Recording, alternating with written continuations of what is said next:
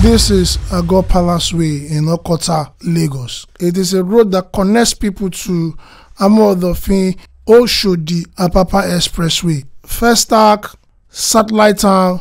Men looking at this road, you would find out that this road has over 1,000 businesses. And what do you think is going to happen when this road becomes a total wreck? When it goes beyond this state that it is now, what do you think is going to happen?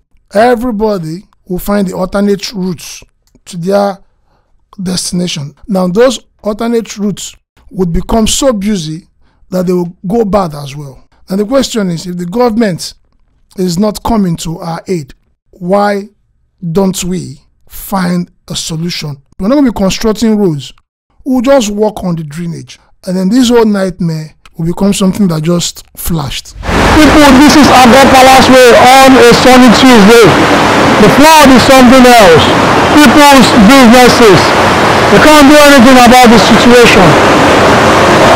The outcry to the government has been huge, but nothing has been done so far. My question is, Ago people, will you allow this to continue? Won't you find a solution all your own? Won't you make your own effort to save your community? Ago Palace Way is not in a village, it's a place in the city. It's a road connecting people from Ejigbo to Amodafi First Arc area.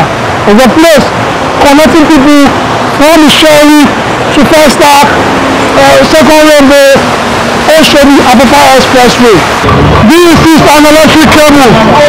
This will bring death to any human being It is left this way and people still march on it, they go on it.